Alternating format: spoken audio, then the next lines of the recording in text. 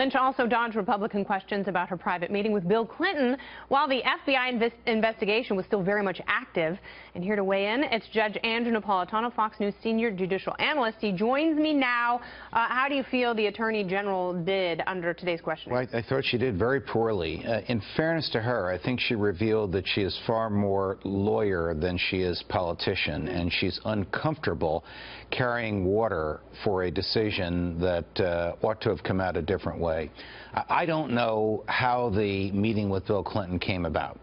Uh, the That's worst case scenario mysterious. is. I mean, there's so many elements there that are just odd. Look, if he manipulated this in order to take out Mrs. Lynch and her senior aides from being in a position to make a decision on whether an evidence against his wife should be should presented to a grand jury, yeah. that's called obstruction of justice. Yeah. N nevertheless, whatever they talked about, they could have talked about the grandchildren and golf, which is what she told the committee they talked about. Even if that's the case, the impression of him going into a private jet with just her and her husband yeah. and, and flight attendants there, while he and his wife are being investigated by the Justice Department that she runs.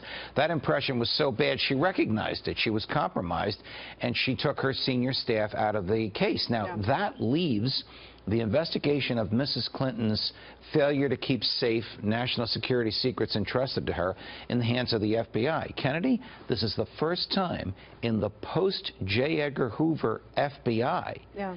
that the, which means going back to 1971 when Hoover died, that the FBI and not the Justice Department have the final word on whether someone is going to be prosecuted. That's mystery number one. Mystery number two, which was not asked about today, and I'm critical of the Republicans, they didn't ask the right questions that lawyers should ask. They, they never asked, coordinate. They You're asked right. questions that politicians would ask. Yeah. The Democrats, who were more interested in gun control and copyright problems, yeah. at least coordinated their questions. Mrs. Lynch, what information was presented to a grand jury? What grand jury?